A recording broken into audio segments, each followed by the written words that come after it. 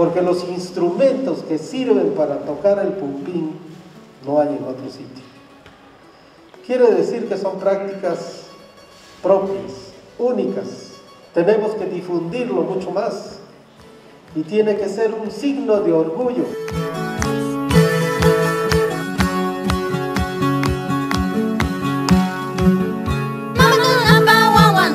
Nos une, nos hace seguramente celebrar, nos hace llorar, nos hace sufrir seguramente muchas cosas.